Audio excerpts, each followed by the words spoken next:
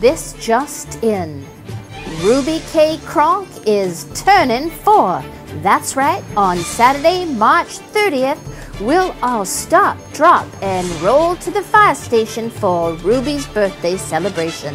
Kids, please notify your parents of this very important event.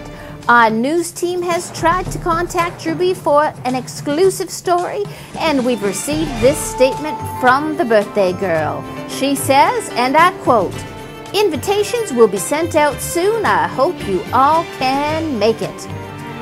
Well, you heard it here first. And from all of us here, happy birthday, Ruby.